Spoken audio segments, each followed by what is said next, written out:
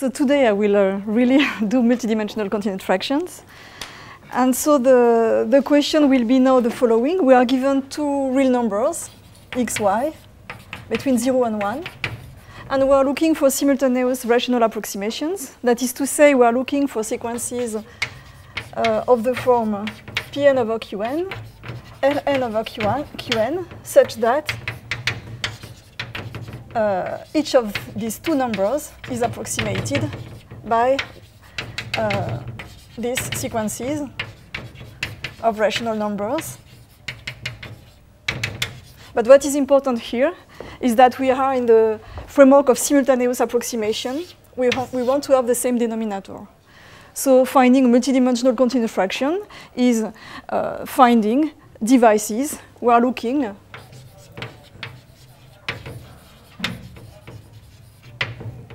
for, effect, for ways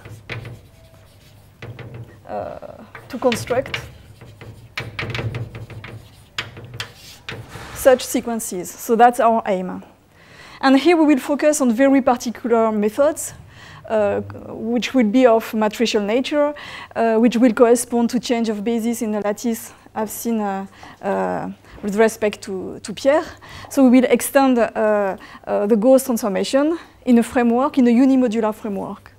So we'll focus on several algorithms. So in this lecture, I will mention the Jacobi-Perron algorithm and the Brun algorithm. And just to give you an idea of these uh, algorithms,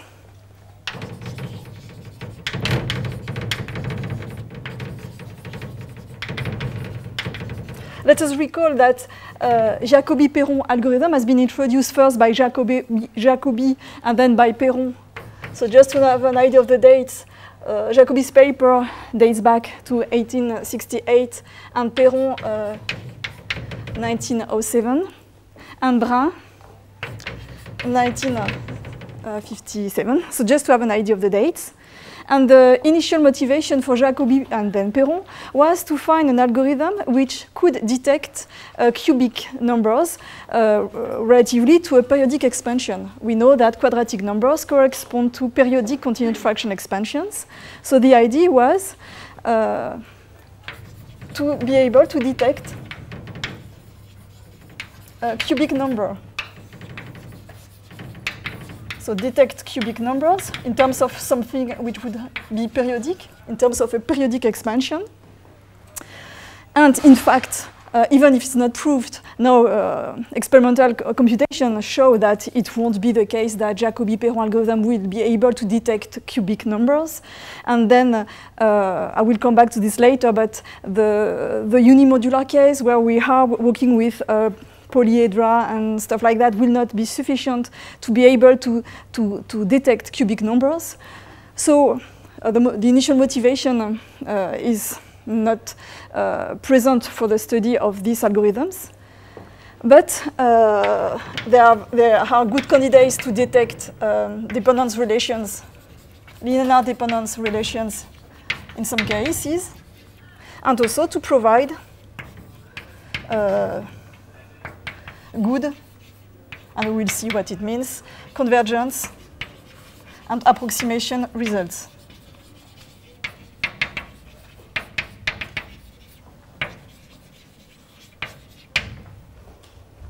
So by dependence relations, linear dependence relations. So that's what is usually expected from a continued fraction algorithm. So we will see with our algorithms that we consider here whether we'll answer to these questions. In this lecture, we will focus on the description of these algorithms, the general setup, um, convergence issues. And in the next lecture, we will uh, uh, go deeper into the ergodic considerations. But for today, I will uh, detail these algorithms and discuss uh, about these facts. Uh, if I come back to Brun algorithm, uh, the paper by Brun is a very nice paper, which is called Euclidean uh, algorithms um, for dimension 3 and, and 4. In fact, it's written in French, so I, I am giving you a an English title for a French title paper. Um, I'm not sure we'll be able to find uh, algorithme euclidien pour 3 et 4 nombres. And if you want to find the paper, it's on the web page of Timo Jolivet. It's not for, uh, necessarily easy to get the paper. So Timo Jolivet, he has a web page on IAFA, and you can find it if you Google Eyes. You can find this paper. So this paper very interesting to read because already in the 60s, the modern presentation we will see now was uh, occurred in, in, this paper. So we'll uh, speak about this. But I want to stress uh, the fact that already Euclidean uh, algorithm, the terminology Euclidean already occurs. So I, I want to, um, to, to, stress the fact that continued fraction algorithms and Euclid algorithms are the same. So even if I said I will do the multidimensional case, I come back once again to the classic case. So Euclid algorithm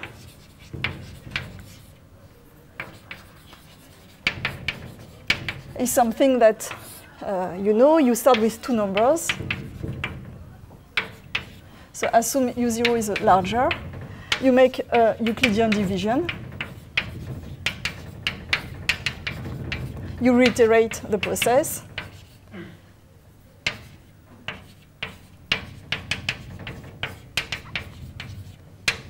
And so on and so forth until you reach something which is zero. So these are uh, natural integers. You arrive to zero, and the state before you have obtained the GCD. But this operation is nothing else than the beginning of the continued fraction expansion. Uh, if you write things like that, this is a, a, number smaller than 1, you've got one partial quotient, one digit, plus uh, the iteration of the process. So that's the beginning of your continued fraction expansion. So Euclid algorithm just says you subtract a number to another one. So what is uh, a Euclid algorithm in this dimension? It's just a rule which says start with two numbers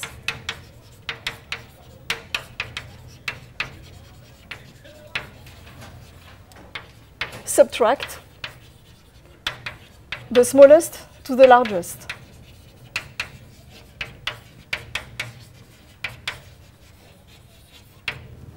So that's just a, a, rule. So if we want to make uh, from this rule a dynamical system and reconstruct Gauss map, how do we proceed? Okay, start with two numbers. So I introduce um, the following uh, uh, cone, the, the positive uh, quadrant. And I will introduce a map S goes from this set to this set, which does the following. Uh, you subtract as much as you can B from A if A is larger than B, and you do the converse. So now I want to, with just this rule, to, to recover Gauss map. So that's easy. What uh, shall I do?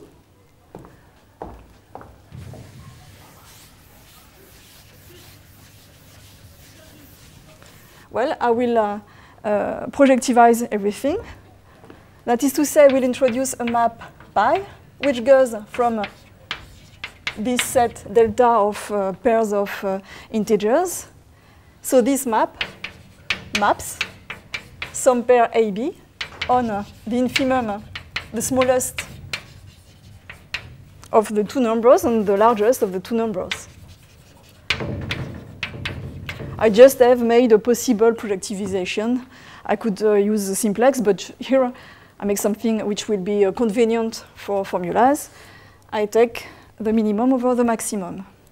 And so now if I look at what, I've, mm, what can, I can get from this, I've got this map, SG, oh, sorry, which runs, which goes from delta to delta. I project, and what I claim is that I will recover the Gauss map. Well, let's do the computation. I start with some parameter uh, x that I write as AB, and I will suppose, assume that um, A is larger than B.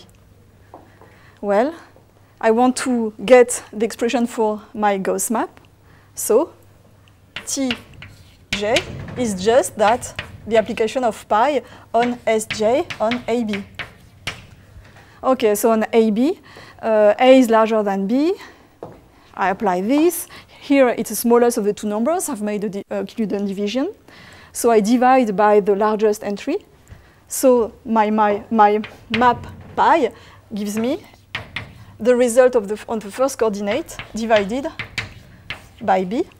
Well, that's nothing else than, and sorry, here x was the minimum over the maximum b over a with this assumption, and I get 1 over x. I recover Gauss map. So if I have a simple rule like that, expressed in terms of I make subtraction or divisions. And so here I use the term subtract. I've made divisions, but that's I've made as much uh, subtractions as, as, I could. So I've got a rule like that, applied on uh, entries which are positive on vectors, but not necessarily in a compact set for the moment. Uh, I live on, on the uh, positive quadrant. I apply this rule, which is written here. I projectivize, I use this map pi, and then I recover a map which acts on 0, 1, and which is just obtained by applying the map pi to my, to my rule, my simple rule. So now what I claim is that I am able to construct uh, tons of uh, algorithms, continuous fraction algorithms, by taking such rules. If I give you a rule, uh, I do, uh, I take three numbers, I subtract the smallest to the largest, then I can do the same process and get some expression which will be quite handy in term like this in terms of dynamical systems. And then we will be able to do what we have done uh, with the Gauss map in the previous lecture. So let's do it. And we will start with the Jacobi-Perron algorithm.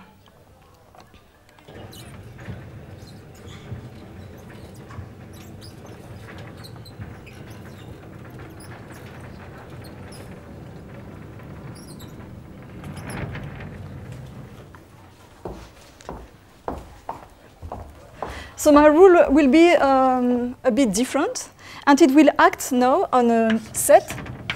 I still call it uh, delta.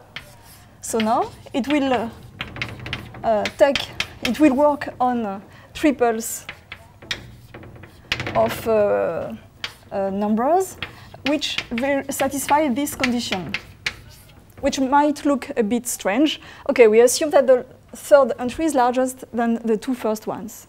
And my rule that I call SJP, like Jacobi-Perron algorithm,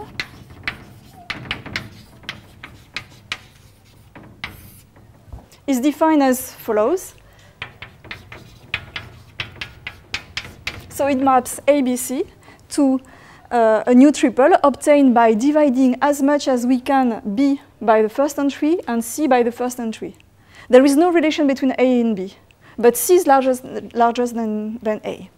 Okay, so it's a bit, um, it looks a bit um, like artificial, but let's do it.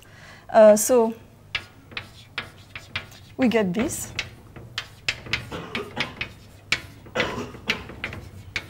So that's Jacobi-Perron algorithm. And now I will feel more comfortable with something expressed in terms of fractional parts.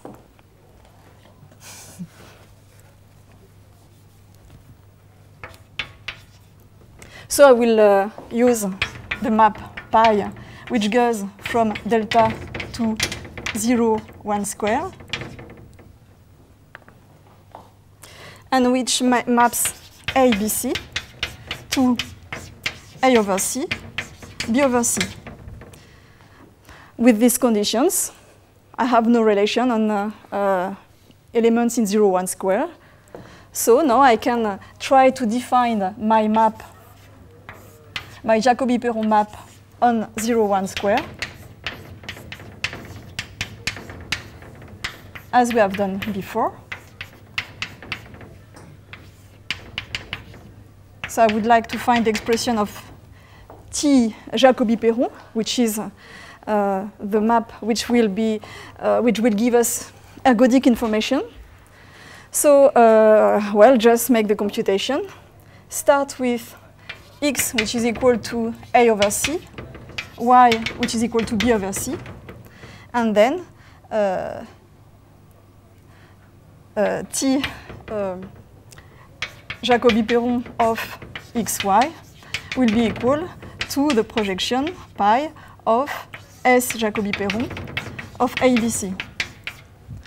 Okay, so we have, we have to divide by the largest coordinate.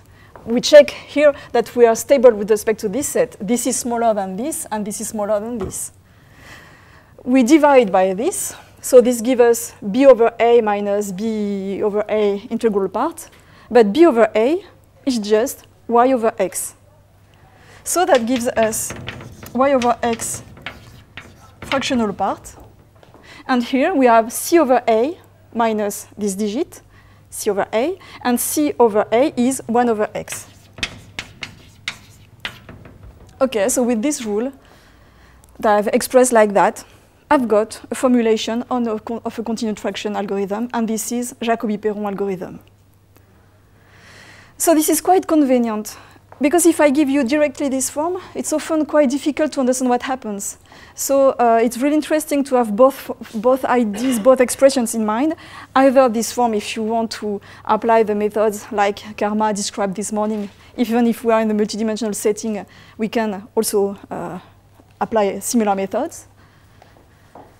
Uh, think of expansive, expansivity IDs and things like that. So it's convenient, but also it's interesting to have in mind what we have done in terms of linear operations, what, how, how things behave from this viewpoint. And I would like just to make a, a remark. So suppose you, are, you give me uh, an algorithm, and I will uh, take as algorithm TO, like Ostrowski, Suppose you give me as an algorithm the same thing, but you make some modification. So um, xy is mapped on the same uh, uh, images, but via permutation. So what happens? So this, called, this is called the Ostrowski map. Well, on the first coordinate, you recover Gauss map. The first coordinate doesn't take into account the second coordinate.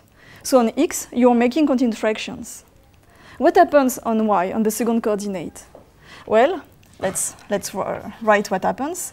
So if x1, y1 is equal to the image by this map T Ostrowski of xy, then y1 is equal to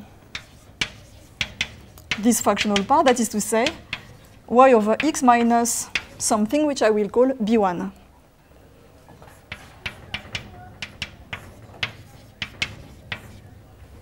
So let's continue. So what does it mean? It means that uh, y is equal to b1 plus uh, y times x y1 times x. Okay, so um, I don't recognize something in the flavor of continued fractions. Let's continue. y is equal to b1, by x plus y1. So y1, which gives which will give you a second coefficient. So a bit, sorry, a b2. First, a b2 t of x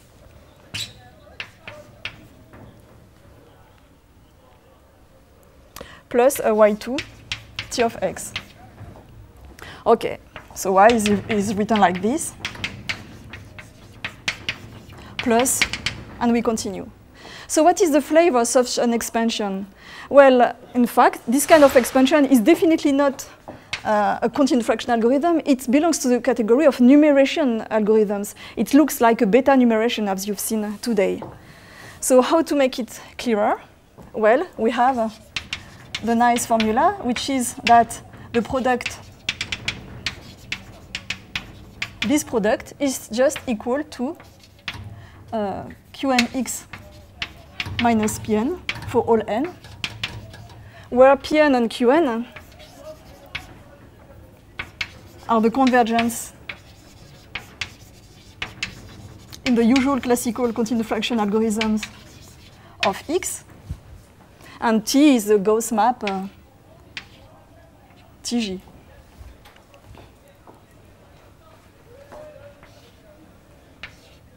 So here we had a two-dimensional uh, map. Here we have the Gauss map on this first entry, and we've, get, we've got this.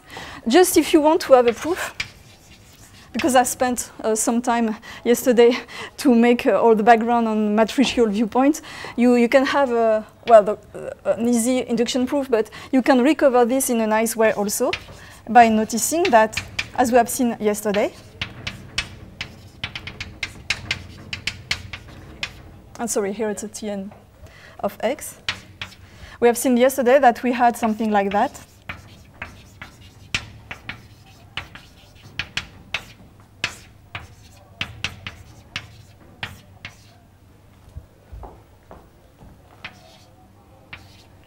So just with this uh, expression, you can find such a formula. Just look at what happens on the first line, what happens on the second line when you expand this, and use the fact that x minus pn over qn, uh, um, just minus pn over qn, um, sorry, uh, yes, that x is equal to pn plus tn of x pn minus 1, qn plus tn of x qn minus 1. So you can uh, uh, compute x minus pn over qn, and just by uh, all the information is hidden here, just as a remark. So you can recover stuff like that. I always have in mind that I would like to use this kind of expressions to have the same kind of information in the higher dimensional case. So this uh, corresponds to a quantity that converges uh, geometrically fast uh, to zero. So this is as, as if you were working in base 2. For instance, it's like a 2 minus n. So you are expanding uh, uh, real numbers in a, in a base with some digits, which satisfies this for all n. If a n are the uh, partial quotients in the continued fraction expansion of x that you have expanding, expanded on the first entry. So you recover a numeration system which allows you to expand real numbers with the second coordinate with respect to this numeration system, which is uh, quite uh, useful. It's called Ostrowski numeration system. It gives you nice Diophantine approximation properties and nice uh, properties concerning uh, the sequence, the Kronecker sequence K alpha. And uh, as an exercise, if you take for alpha, uh, for x, the golden ratio, then the numeration that you find here is nothing else than the corresponding beta numeration as discussed by Karma this morning with beta equals x, this uh, quantity. It's not difficult to see it. It comes from the fact that in this case, this quantity, qnx minus pn, just correspond to uh, powers of the golden ratio, uh, negative powers, and you recover the numeration with digits in 0, 1, where no two ones in a row can appear. So it was just a remark to let you feel that when you are given such an expression, it's not obvious to really see whether it detects it detects it's really what we expect for a two-dimensional continued fraction algorithm, whether it's, it's connected to cubic numbers or whether it's just a skew product of the Gauss map. So here it's called a skew product because in fact, you've worked only with the real map is the Gauss map here, and it's, it's a side map. So when I say it's not, it's difficult to see it. In fact, I'm cheating. It's it's not that difficult to see that. On the left, you're doing Gauss, and on the right, you're doing something which depends on Gauss. But one can think of situations where it's it's more intricate. So this um, arithmetic uh, vision of things is sometimes not sufficient to really understand what happens with an algorithm. So that's uh, Jacobi Perron. And uh, maybe now I, I, will give the general setup of what is called a multidimensional continuous fraction algorithms. And then we will uh, practice on Brun.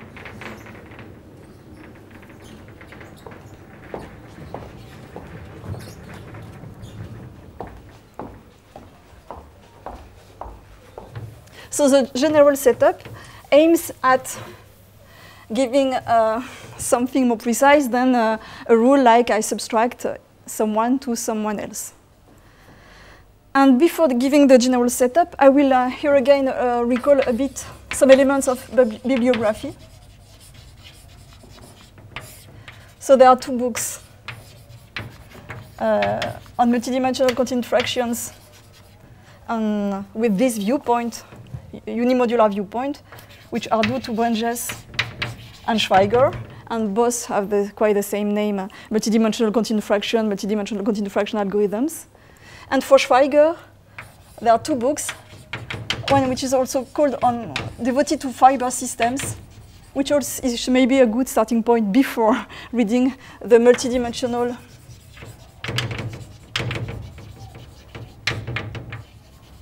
continued fraction uh, one.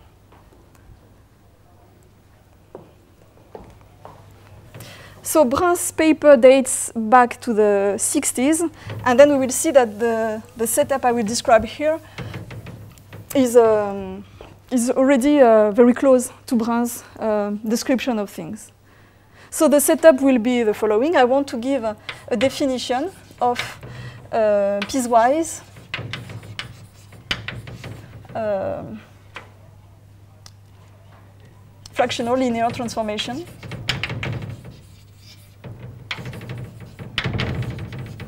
So piecewise fractional linear transformation.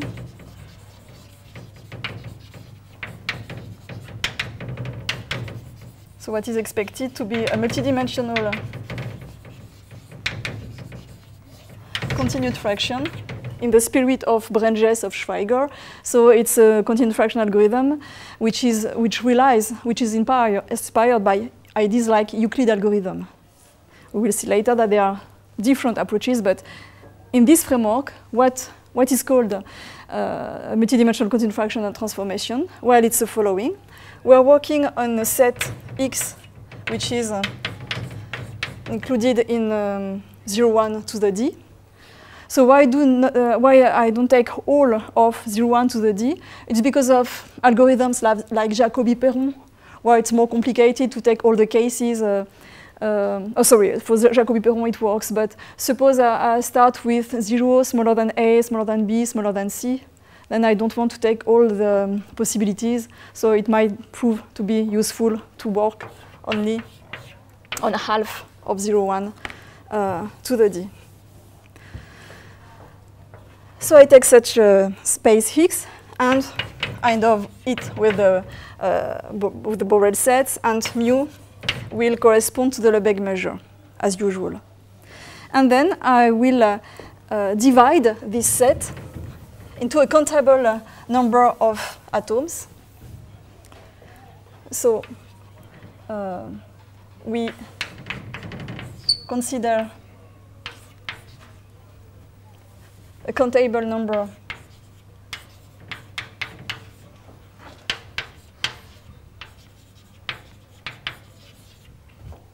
a partition uh, such that, so it's a partition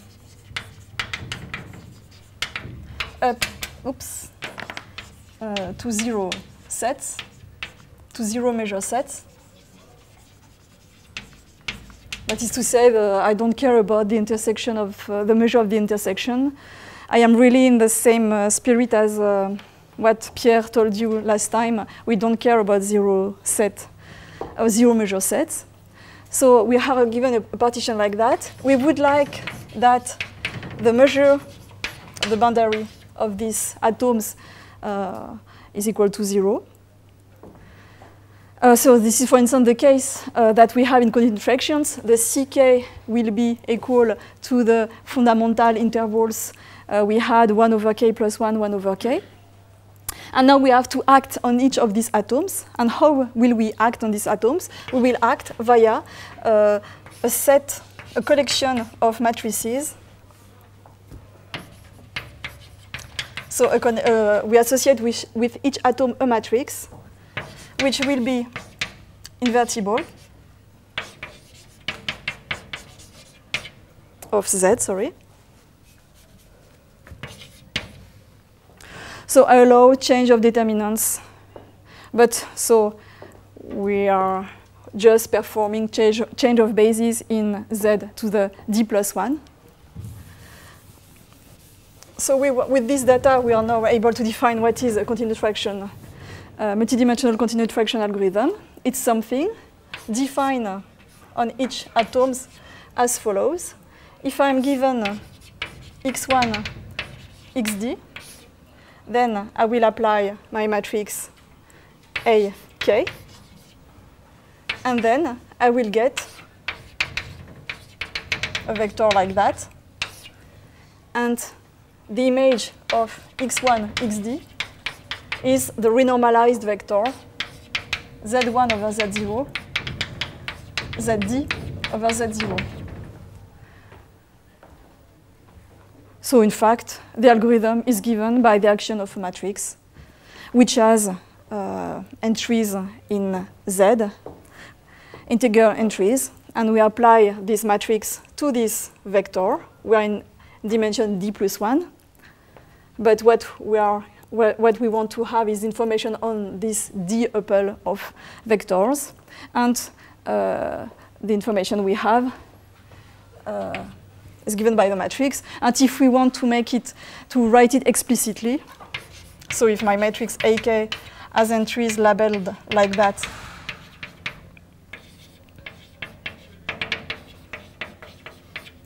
well, we get an expression which will be um,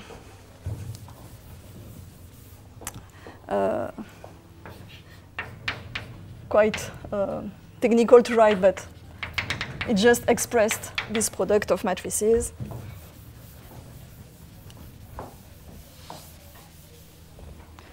So what does it mean? Uh, the, the, action on the first column will give you uh, Z0. So uh, we will divide everybody by A0 plus A01 x1 plus A0d xd, just the action on the first line of my matrix.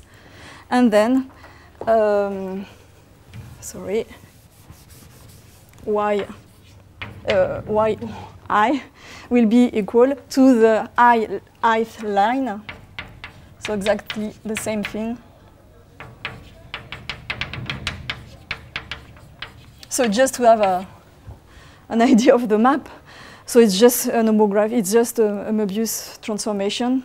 Here, the fact that the determinant uh, is equal to plus minus 1 gives you invertibility, gives you uh, uh, comfort with respect to, to this map. So it's just something like um, some, some map easy to handle. So multidimensional continued fraction is just something which is defined on uh, atoms of a partition thanks to a matrix, matrix which is invertible. And that's the, the key element here. Our matrix is invertible. And then we, we get our new numbers just by applying something like that. Uh, well, uh, do usual continued fractions enter this picture? Yes. Uh, if y is equal to 1 over x, 1 over x minus, let's call k the, the, the integral part of 1 over x, then um, we have that 1x is equal to the matrix minus k1, 1, 0, uh, 1y. Um, well, it's parallel to this. So here, AK, the matrix AK is just equal to this. Okay, so that's our general setup. And now, uh, so usually you are, you are either given uh, matrices like that or rules like we subtract someone to, to someone else. Uh, so this formalization allows will will, um, will be useful when we will uh, do in the next lecture when we will uh, tackle ergodic considerations. But now I will come back to uh, the example of Brun and uh, an expression uh, in terms of uh, a basic rule, who will we subtract to who, and we'll practice now with Brun and uh, it Brun enters perfectly well this framework. Uh, just a few remarks maybe. The inverse of the matrix here is a matrix which has non-negative entries. So the algorithm is said to be non-negative if for all the atoms, all the matrices,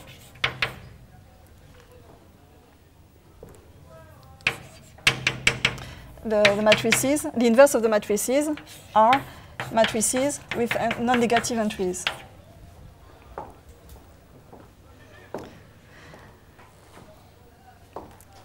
So the difference here is that my entries are a priori uh, integer um, can take negative values, we subtract things, but we want, it will be very comfortable if the inverse is given by non-negative matrices.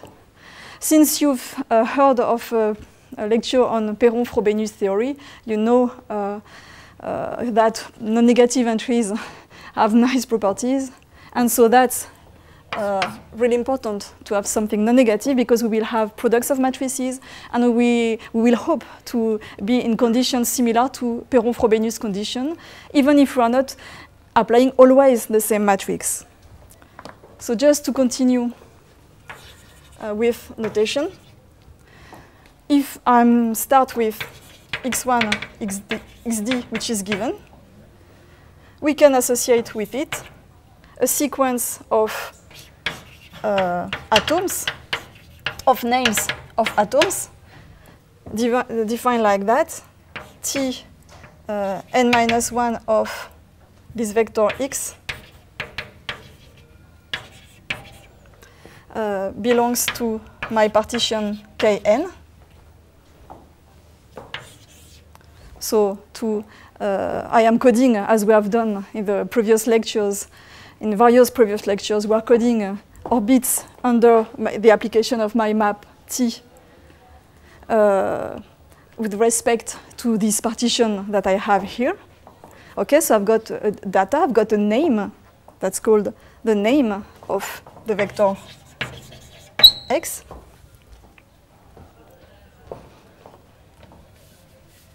And maybe to not to confuse things too much, we will forget that x is a vector because we are in the projective space, so it's a duple, but maybe we can think of vectors when we are in d plus 1 dimensional space. Here just an element of 0, 1 to the d. So we associate to such a point a name, a sequence of uh, data. And with this name, what can we do? Well, we will recover a product of matrices. And then, if we continue with the notation, I will call xn the nth iterate of x under the map T. And then uh, I will, uh, uh, so, with x, I get matrices that I am applying. M, um, sorry, uh, A, um, k1 uh, akn. But in fact, what is interesting is the inverse of the matrix. Because we have defined, in some sense, the new entry is given by a k1x. So x So the new entry, I will call it x1. So x is given by ak minus 1 x1. So starting from a vector x, I've got a series of matrices which are with non-negative entries and which um, gives you xn. And by this sign parallel, I just mean that uh, two vectors are parallel if they are collinear, if there is a, scalar which, uh, uh, which, if they coincide up to a scalar. So here, uh, x is equal, not only does it give a sequence of matrices, but x is given by this product of matrices. And since these matrices have non-negative entries, we are really in the framework of Perron-Frobenius theory, if we have suitable and good assumptions on these matrices. And then the question of convergence and speed of convergence and questions concerning uh, ergodic questions about invariant measures will be uh, provided by the way this product of matrices behaves. So on Monday morning, you have seen how the product of one irreducible or primitive matrix uh, of the powers behave, and you have seen that they go toward the direction that's uh, Perron-Frobenius um, uh, theory. So here we would like to have the same kind of ideas. We'll start with any vectors here. We have products of matrices, non-negative uh, matrices, which will shrink uh, the positive um, quadrant or the, the positive cone we start. And we would like to, to, to get convergence information on this.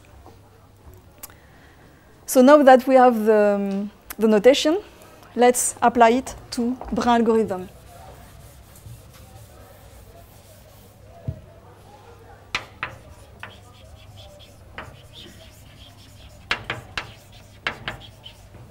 And now I will follow quite closely uh, Brun's paper.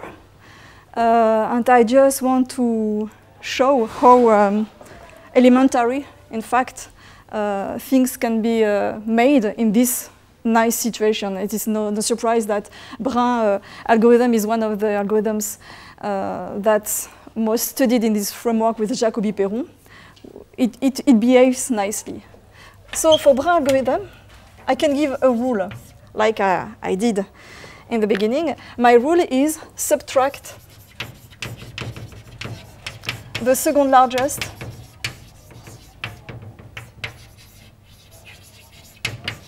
to the largest.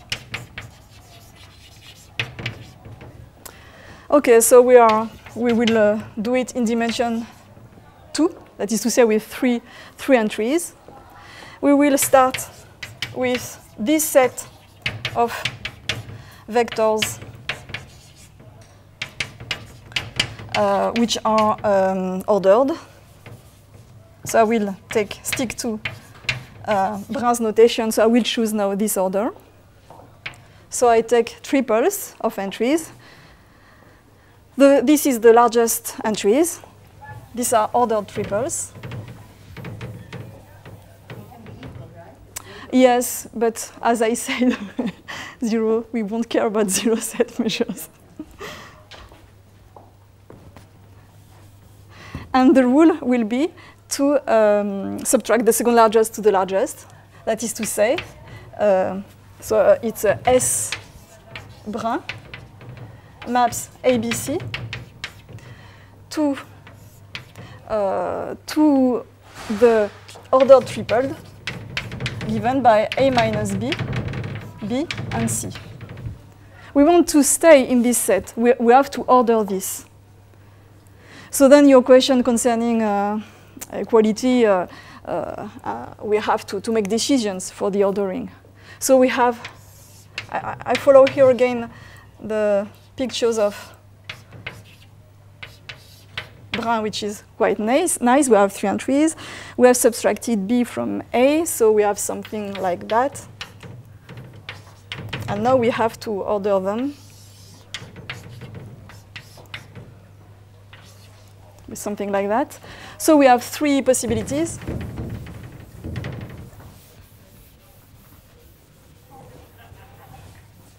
So we have case one. Uh, a minus b is still larger than b, larger than c. Two, uh, you continue to do the process, but you're sure at some time that you have reduced this. So you might skip this step, but you're sure you you are sure to arrive it. You continue the algorithm. If you have, if you can expand things infinitely many often, you're sure to arrive to some situation where at least, uh, sorry, you have been able to go under C.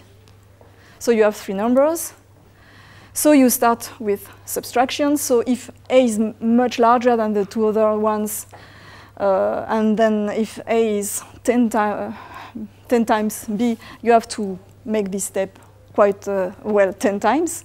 You arrive to this step, or maybe you arrive directly here if the remainder, here you are just making the division of the largest by the second largest, and you have to reorder the result. So that's Brun uh, algorithm.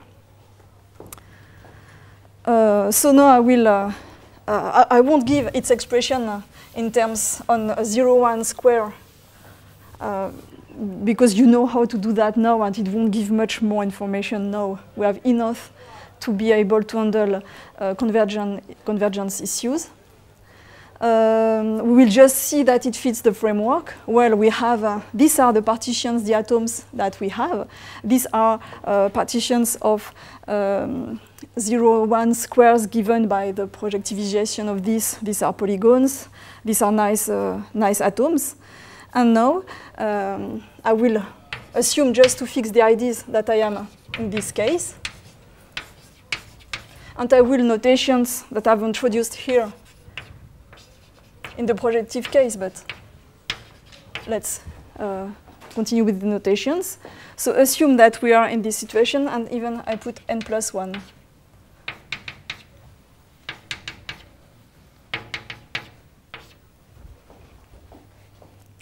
Uh, then what happens if I want to find my matrices? Then uh, A, B, C, uh, N is equal to a matrix time uh, A n plus 1, B n plus 1, C n plus 1. I'm really sorry, I think it was n, n, n. That is to say, A n plus 1 is A n minus B n. B n plus 1 is uh, B n and Cn plus 1 is Cn. Okay, so my matrix is equal to uh, an is equal to um, an plus 1 plus bn plus 1, so it gives you something like that. So it's an elementary matrix, and it's usually the case when you just make one, uh, one uh, subtraction. Okay, you have this matrix. And now what I'm interested in is the convergence uh, uh, properties for these algorithms. So um, I will call this matrix, uh, well, I won't call it. the product of matrices obtained like that, ak1, akn minus 1, will be called mn. So uh, suppose I, that I've made n steps, I get a matrix like that with non-negative entries.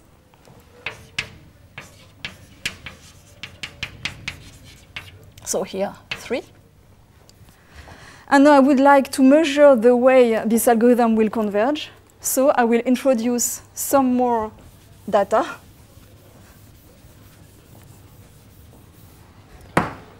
So we'll try to be careful with the notation.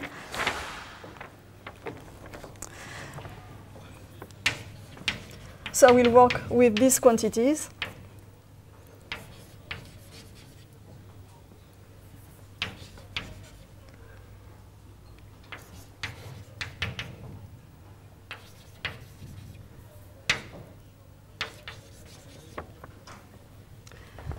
And what are my Pn, Qn, Rn? These are just elements given by this matrix with non-negative entries that I've produced.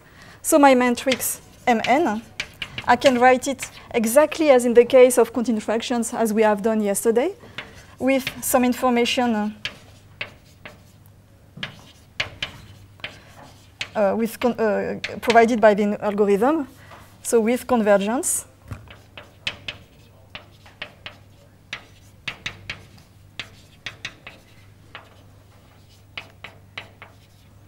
So yesterday we had Qn, Pn, and Qn minus 1, Pn minus 1, which was just given by, by the product of the matrix. Here I don't care a priori on the relations, but just I've got my denominator, my quality of approximations, my numerators, Pn, Rn, and uh, the quality of uh, convergence will be given by this. In fact, if this tends to 0, then we will have convergence because if this tends to zero, if you, uh, this can be re rewritten like A over um, Qn. So it's P over Qn minus B over A. So it's um, A Qn times this quantity, which measures the way it converges. And we have even something which is better than just convergence. We have something which is called strong convergence will uh, give the precise definition in the next lecture. So the aim now is to prove that uh, the supremum, the max,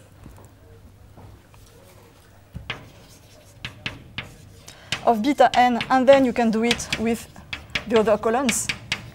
A priori, there is no, real, uh, no reason to think that this first column will give, give a better approximation. So we want that this quantity for each column, we want this to tend to 0.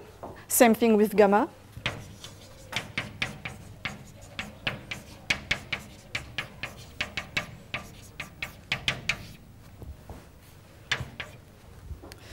And we need maybe assumptions. The assumption is that uh, assume that the, uh, the expansion is infinite. So assume that uh, ABC admits an infinite expansion.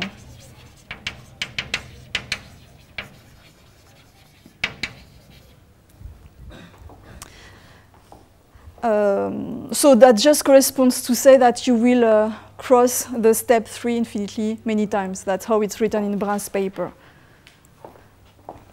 So once again, up to sets of zero measure. so that's for almost every uh, ABC. The, the times, the cases for which you won't have an, an infinite expansion correspond to the times where you hit the boundary of one of these atoms. So it's a set of zero measure. So that's what I want to prove. Um, simply. And it's, uh, so it's very nice property. It says that the matrices you produce gives you vectors uh, which approximate my vector ABC at a quite good speed, and it's uh, uh the, the, and each time you get vectors which are closest and closest. So it's not something you will find in any continued fraction. This won't be true for Jacobi-Perron, for instance. That's something which is uh, characteristic of Brun, and we will see why. So um, the matrix Mn plus 1 is equal to the matrix Mn just via this matrix. So that's the assumption in the first case. All the cases, the, the other cases, of course, can be handled in the same way. So that means and sorry, it's in build-up.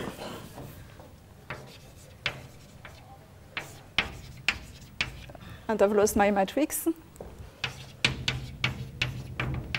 So which means that my new entry, what is modified, is my um, new column with prime. So with a commutativity in the notation between the prime and n plus 1. So the column of the middle satisfies this property. Well, I have to make a choice. We have this for the column. That's the same thing for Pn, same thing for Rn, and same thing for beta. So that's what is interesting for us.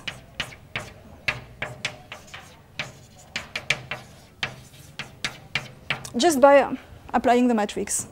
So this quantity we are looking, we are considering, which gives you the quality of approximation, just satisfies this recurrence. now we have just to make a small remark.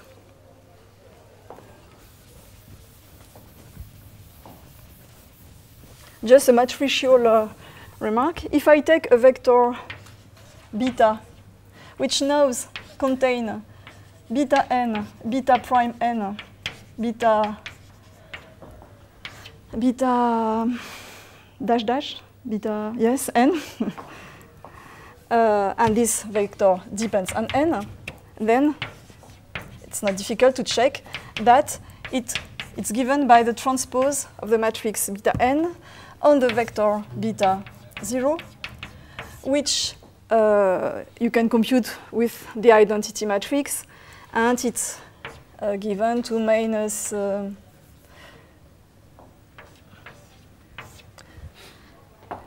just uh, the, the computation is immediate, but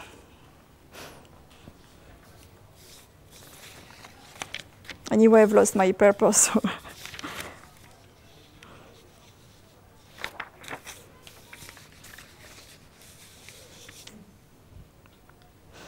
So Uh, so it's just um, that I write my, uh, I'm, I'm, ah yes, here I am.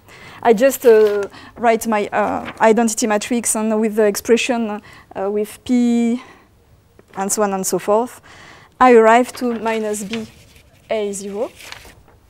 So I've got this. So, so, this is something which has nothing to do with Brun for the moment.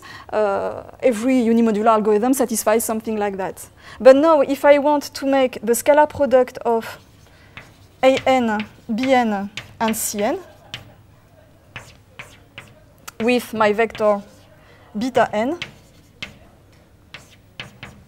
what I claim is that it's equal, it's invariant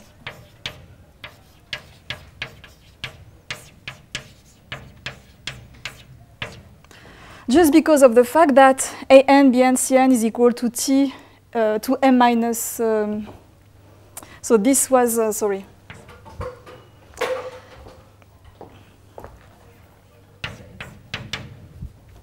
Here, um, an.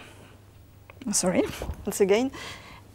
Uh, the new entries are given via m n to the minus 1, so that the new entries, it's uh, mn minus 1, and uh, beta n involves a transpose. So just the scalar product is constant. It's equal to 0.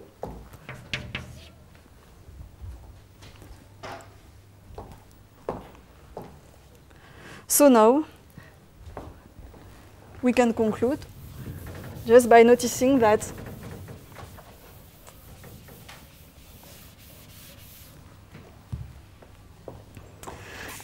we want to know, uh, we want to see whether this sequence uh, decreases. Well, um, the only perturbation we have had is on beta n plus 1 prime, which is equal to this sum. The other quantities are not modified. So if these two quantities have different signs, then this is smaller. We're done. The only problem is this if these two quantities have uh, the same sign. So we will assume that these two quantities are positive. And then to, to finish uh, the, the thing, we just consider this uh, scalar product and we obtain that in absolute value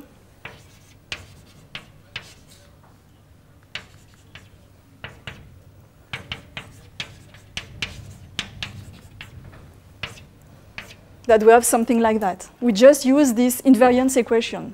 This invariance equation is always true. It doesn't depend on Brun. But here, this relation here knows involves Brun.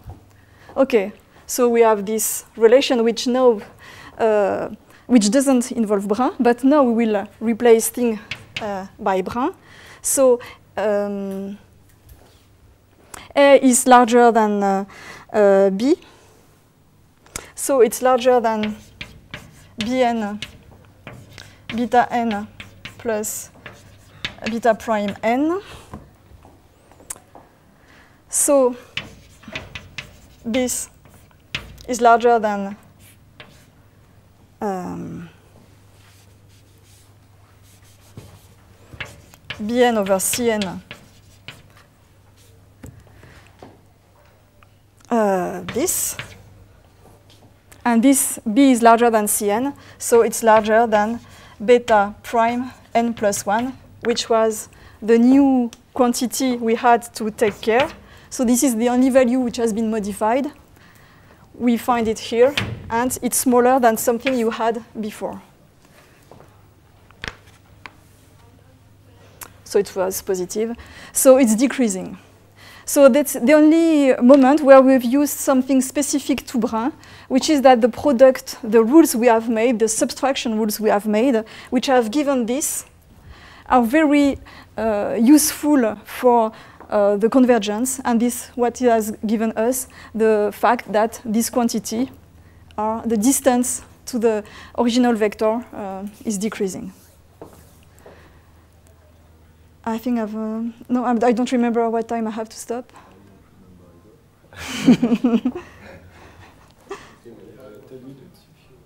I don't remember. What? That, that is? Minutes, Thank you very much. uh, so that uh, ends uh, the, the, things for, for Brun. And in the remaining time, I just would like to discuss on the general zoology of algorithms that exist. So I will give several rules.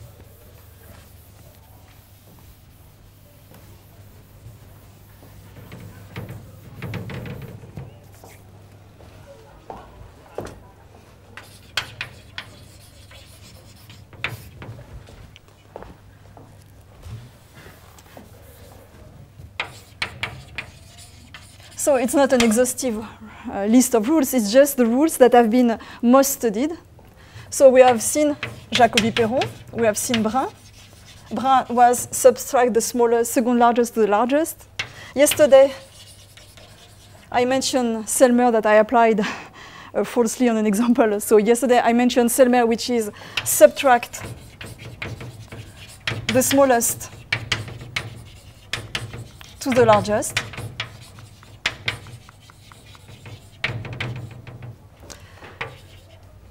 Euh, Poincaré, subtract. Uh, each entry to the next.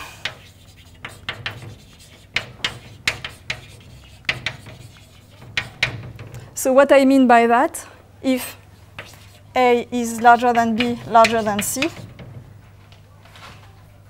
uh, I map ABC on A minus B B minus C, C. For Selmer, I map ABC on A minus C, B, C. And lastly, uh, fully subtractive.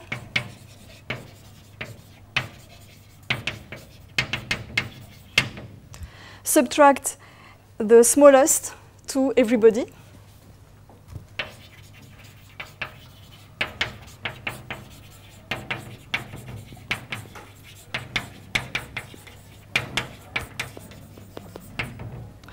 So that gives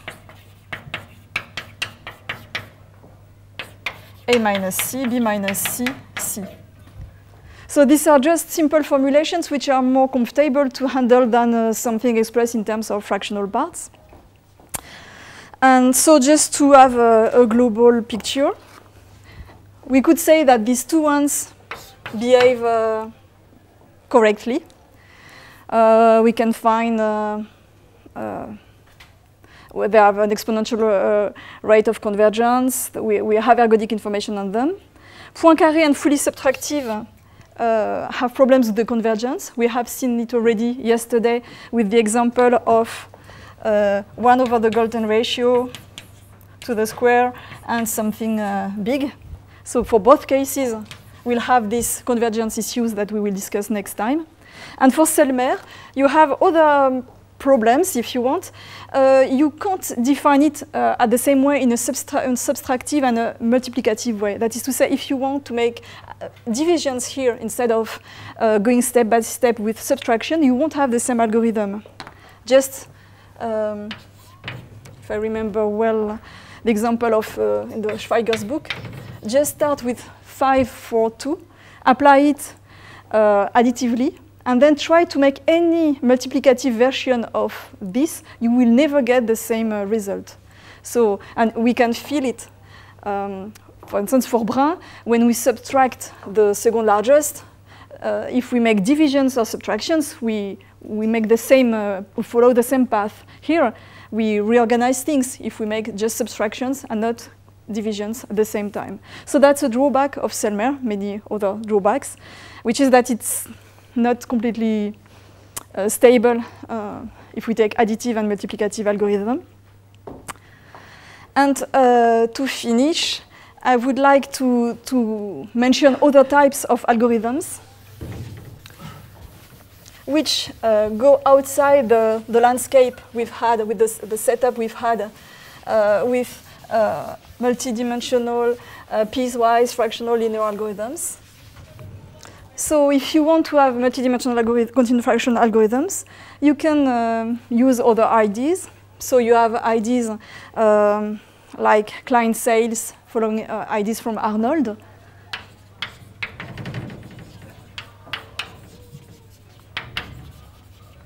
You could also use IDs developed by Lagarias on best uh, sequences of best approximations.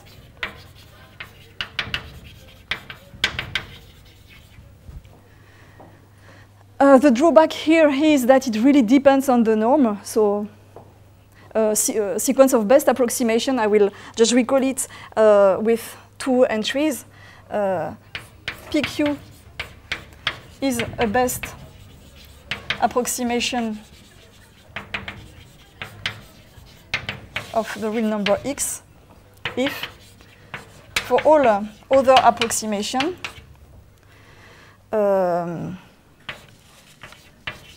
qx minus p is better than and uh, so I have to give more uh, condition if q prime is less than well is strictly less than q. So each time I'm given an, uh, uh uh, an approximation. I can't find a better approximation with a smaller denominator with respect to this um, uh, to this uh, type of approximation. So uh, uh in the classical setting, uh, convergents are best approximations.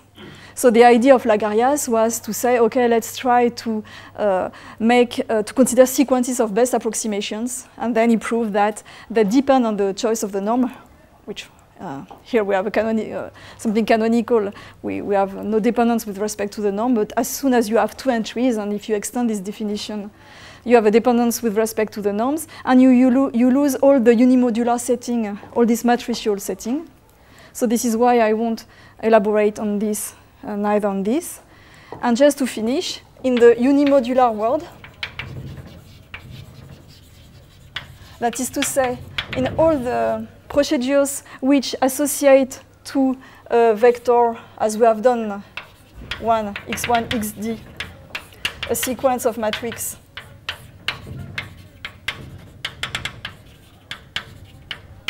So if we want to get unimodular data, well, there are other ways to, to work, which are with lattice reduction.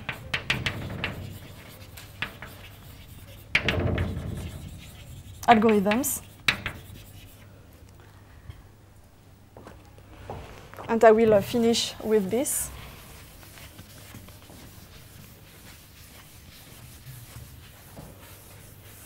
So how do the strategies based on this uh, work? Well, you start with the data you want to expand or approximate. And you take a parameter t, which will be small.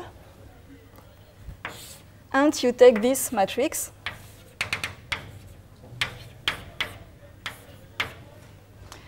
And so you have this matrix, and you want to find nice uh, approximations of x1, xd, as we have done here.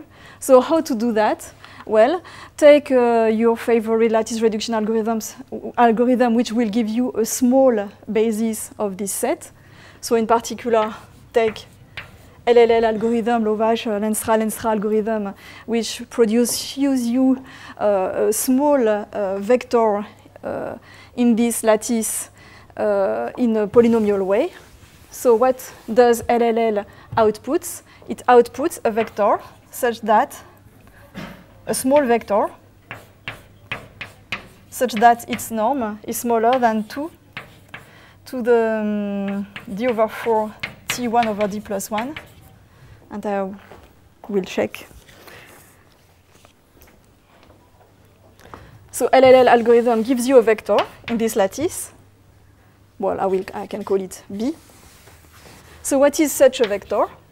A vector is something that you can uh, write like P1, E1, where E1 is the canonical vector of the basis, basis P2, E2.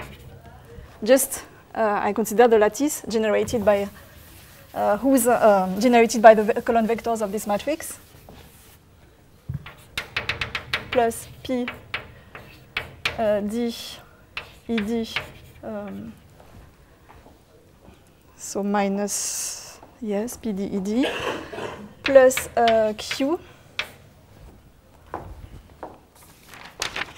minus X1 E1 minus XD ED, uh, plus T ED plus 1. Just write what is, it, what is this for B to be in this lattice. And now uh, it's just something like that on the first D vectors, exactly what we are looking for. We want to find things small here on these coordinates until the this vector plus something which is qt ed plus 1. So we know that the norm of this vector is small, so we are very close to, the, to our aim, which is to find good approximations. I just have to handle this. But then uh, uh, I look at this entry, which is smaller than this. Then qt is smaller than 2 to the d over 4 t over 1 over 2, t to the 1 over d plus 1. So it gives you some upper bound on, on uh, t with respect to q.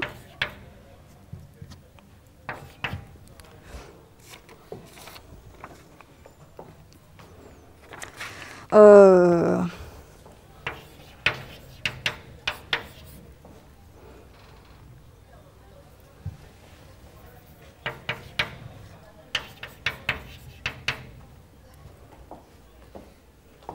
so divided by q.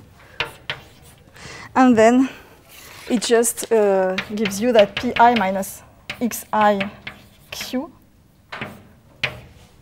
is smaller than something which depends on the dimension 1 over q to the 1 minus d, and that's something which is uh, perfect with respect to Dirichlet's theorem. We can't do better with respect to the, di dimension. And here we have something which depends on dimension. So if we are in small dimension, d small, it's not a big uh, drawback. So we have a good quality of approximation. But what I've made here has nothing of a dynamical nature. It's just a procedure to exhibit good rational approximations but it's, uh, it's not dynamical. So I can't say anything on the way it will behave almost everywhere. So it gives you uh, excellent approximation properties, better in fact than what we can have with Brun or Jacobi-Perron. For Brun Jacobi-Perron, we will have here uh, an epsilon positive, but not 1 over d. But for Brun Jacobi-Perron, we have uh, uh, tools to be able to study them from a dynamical uh, viewpoint. And I'm going to, to stop here.